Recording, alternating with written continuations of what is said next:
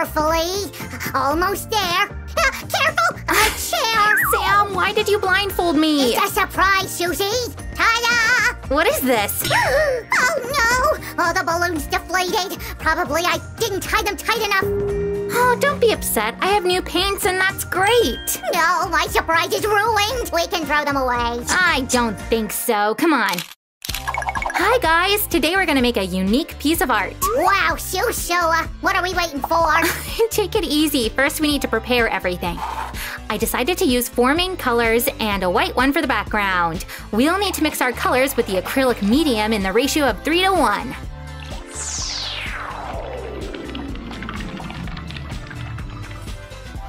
Be careful, Susie. Do not add too much. Thanks for caring, Sammy. Now we'll add a little bit of water in each color to make it more flowy. Let's stir it properly, like this. It seems to me that you need some help. I wouldn't say no. It's always more fun to work together. Oh, I can't wait to start drawing. It's gonna be so cool. Huh. I wonder what Sammy's doing. Hey, is everything okay? Of course, I have some experience with paints, you know. What would I do without you, assistant? You'd be doing it twice as slowly. I can't argue with that. I don't want to make a mess or ruin my manicure, so I'm gonna use these rubber gloves.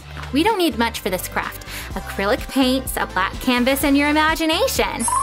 what about balloons? I wanted to give you the chance to bring up the main thing.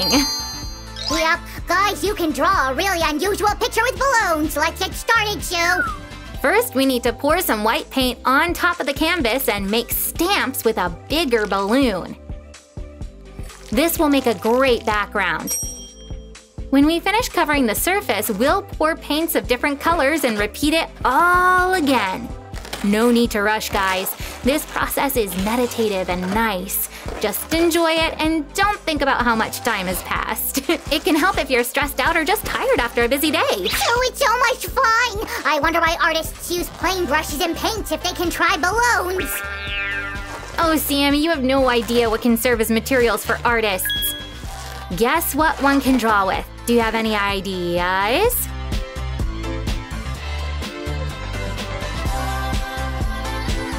For example, Elisabetta Rogai, an Italian artist, is famous for drawing with wine. Such a great and creative way to use wine, right? There we go. Now let's take a smaller balloon to create a nice 3D effect. Here's another one. An artist from Baghdad, Othman Toma, likes to draw with ice cream. he just waits till it melts a bit and starts. But that's such a waste of ice cream, Sue. It's for the sake of art, Sammy. I don't know. Guys, give a thumbs up if you know the true purpose of ice cream. Now we need to wash the balloon so the colors are clear. Can we use a blue paint now? I like that shade so much. Hmm, why not? But don't worry, guys, all the colors are going to be used today. so you can choose any order you want.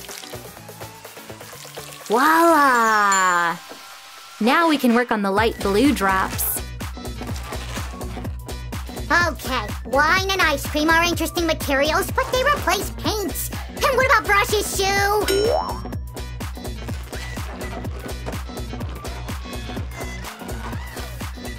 Oh, I know! For example, Tarinan von Anhalt uses the power of an aircraft instead of brushes. It's called jet art. I just checked it. They say it's very dangerous. It sure is. Maybe that's why your paintings cost so much money, you know? But there are nicer techniques too. Natalie Irish draws pictures with her own lips. She puts on her red lipstick and starts kissing the canvas. This may sound fun, but it's really exhausting to do this for like three hours. Wow, Sue, you've almost finished the painting! That's right, Sammy. We're done with the pink. The last one for today is violet. Here we go. By the way, how do you like my story, Sammy? Impressive? It's a good thing we're using balloons for stamps. I guess using your own lips must be painful. Oh, I agree. We don't need so much effort for our craft, but it's still awesome. What do you say, Sammy? Do you like our craft? I say it's gonna not just be awesome, but super cool! In the meantime, we finished with the base for our drawing. Now, we'll let it dry to save this beautiful uneven structure. And I'll find some interesting facts. Stay tuned! Okay, guys, it's time to continue our work. Hmm, great. Sammy, bring me a black marker, please. It's here! What are we gonna do now? We need to outline the contours of our bubbles and then add some accents. Are you gonna draw by hand? No way, you wait! Take this cup. It will help to make perfect circles. Great idea, Sammy. Okay, let's start with this one at the bottom. I can explain everything myself. Come with me, guys. First, we outline the circles, then add dark shadows, and then draw white edges on top. Yes, Sammy, you explained everything right. um, can you please go get the... No need to ask, Susan. Oh, always in time. Nothing is difficult here. We just draw a white line and then blend it so the transition is smooth and nice. There we go. So, so did you know that this craft can be defined as abstract art? Really? Why do you think so? Abstract artists draw with colorful spots and dots and lines. They don't try to make it look realistic. wow!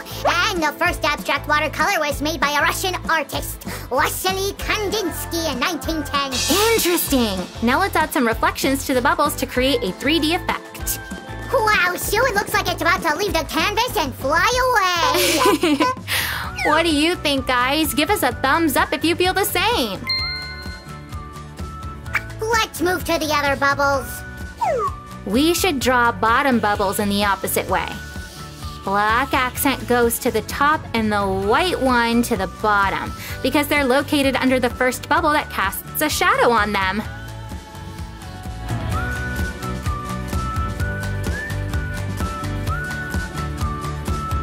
Alright, Chew, I want to try that too! Go on, Sammy. Wow!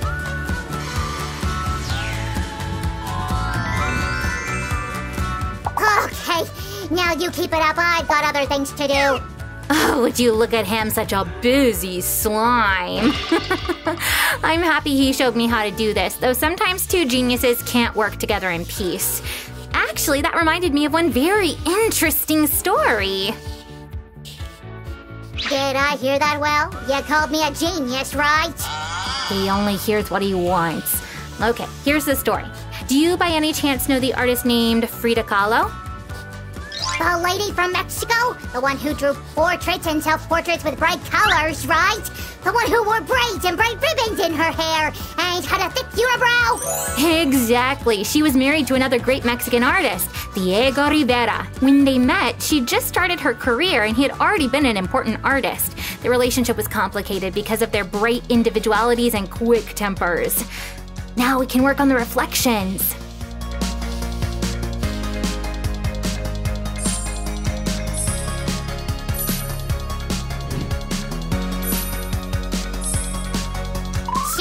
Are you saying that we have complicated relationships too? no, no, no, that's just a story, Sammy. Cause you're my best friend, Sue. I know. By the way, we're almost done. Susie, I think maybe more dark shadows under each bubble aren't gonna ruin the picture. Hmm, I agree with you. Let's add some more and improve the 3D effect. Wow, we're just like Jackson Pollock. I think we're a long way from the most famous abstract artist. but the picture does look really great. Here comes our last brush stroke. Done!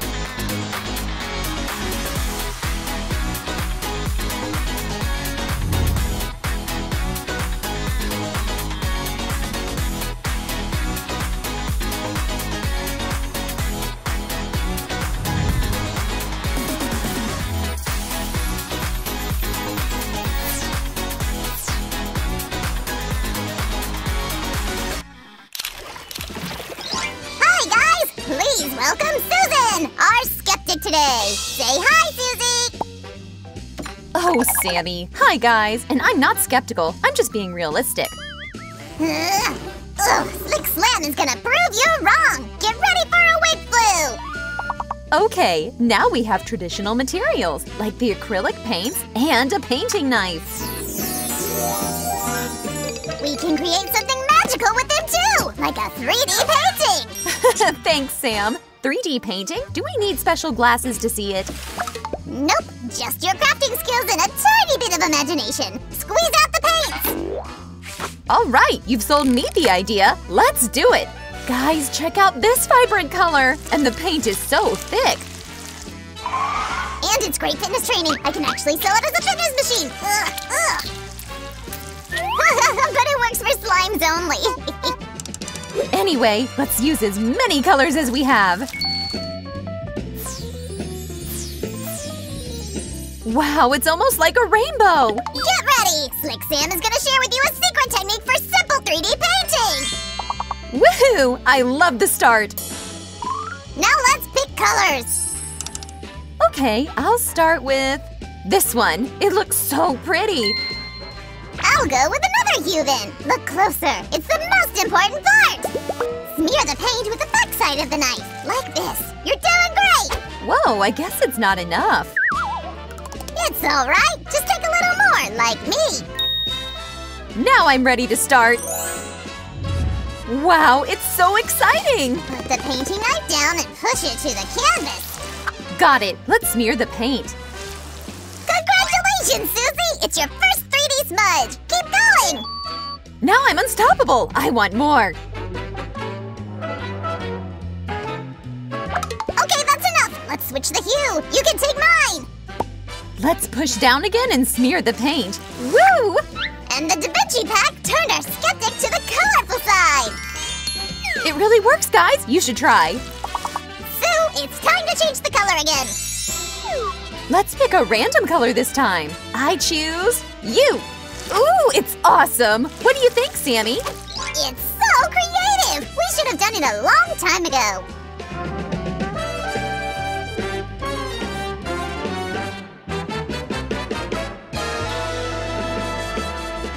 Sue, how's it going? Guys, check this out. We have one more painting on the palette. It's a new wave in modern art! And all of this would be impossible without The Da Vinci pack! Our painting is almost done. So, I made you change your mind, huh? That's for sure. What's next? Guys, we're gonna try this magic cotton swab! Da Vinci would be jealous of it! Whoa, so cool! Let's move on! We're making the second picture, and I want to draw flowers this time. Susie, hurry up! I have to pick the background color! Give me a second. Hmm, maybe I should pick these with white petals? Okay! Background should match the white color! Great! Or should I choose the red poppies? Red? Okay, we'll go with red then! I've changed my mind. Let's paint pretty pink roses. Pink! I got it! Here's the background color. Ugh, it was a tough jog. Let's start with squeezing the color out on the palette. Wow, I love this color! It's like a clear blue sky. The first steps are pretty simple. We'll just apply the paint on the canvas. And then we'll smear it using a wide, flat brush. Easy peasy! Ah, it's so relaxing. Try to stay focused though.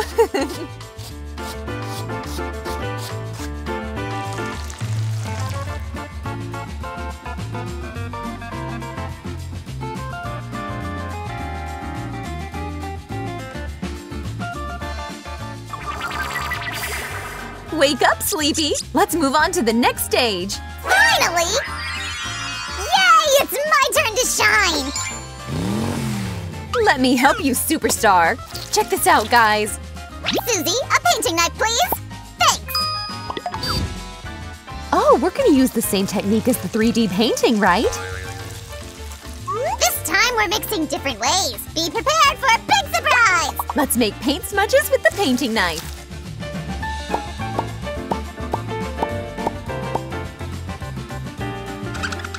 Holy cannoli, Susan, it's mesmerizing! Slick Sam is here with a new commercial break! This smudge doesn't look like a flower at all. But with our Da Vinci Cotton Swab 2000, the painting will transcend your imagination.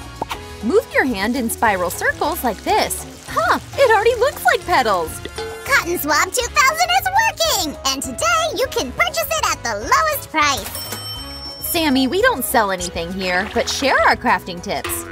Okay, let's enjoy the process then. Give a thumbs up if you like this technique.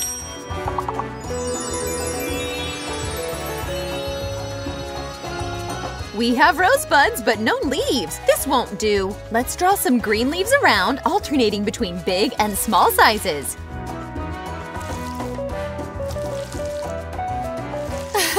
Check this out! Sammy has been drawing some leaves too! Yeah, I don't want to forget my artistic skills. Wait, Susie, I have an awesome idea! Oh, yeah. Ah, ah, ah! Achoo! Oopsie, I guess I ruined the painting. Wow, it's a perfect idea! Sammy, you're rocking today! It was a mistake, actually, but it worked! Another drawing is finished! We can open a gallery soon! There we go! Not till we test the smooth comb! It's the last piece from the Da Vinci pack! Okay, what should we comb with it? Maybe the painter himself? nope, but you were close! First, let's prepare the desk. Guys, get ready! It's gonna be messy! By the way, where should I put the canvas?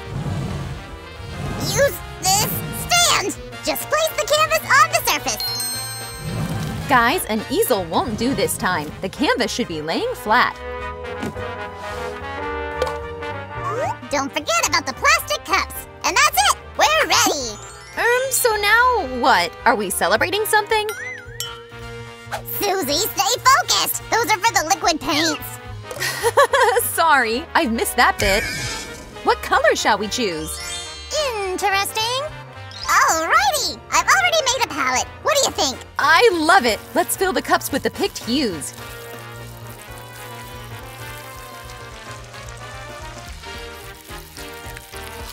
Okay, now we have paints and an empty canvas. Let's do some magic. Someone said magic? It's science, my dear! You should follow the rules! Please teach me, oh wise wizard! Which color should I start with? Paintificus Pigus! This one will do, Susan! Then blue it is.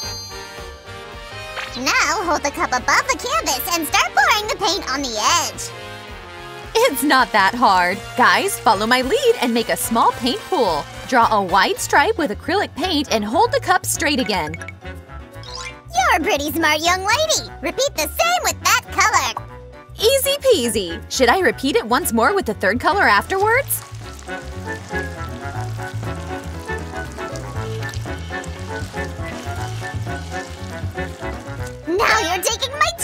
Away from me! Anyway, you're right, so let's do it! Guys, check this out! The paints aren't mixing! Let's fill up the canvas with colorful stripes!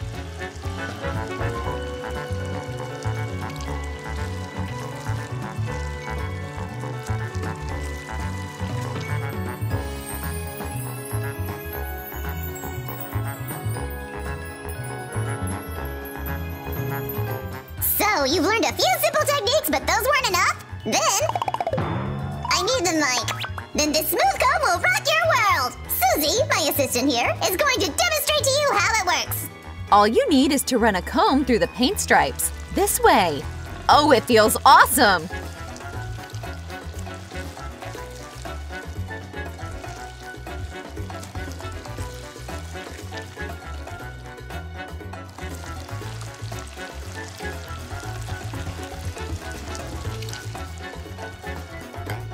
And then you'll get this amazing result! That was mind-blowing! Let's double the result! Do it one more time! Well, I'm not gonna lie, I'd purchase the smooth comb myself. And you can purchase it too! Just call... Oopsie! yeah, it's not a real infomercial, but you can easily repeat this painting at home. Guys, let's see our mini art gallery again! Stay tuned!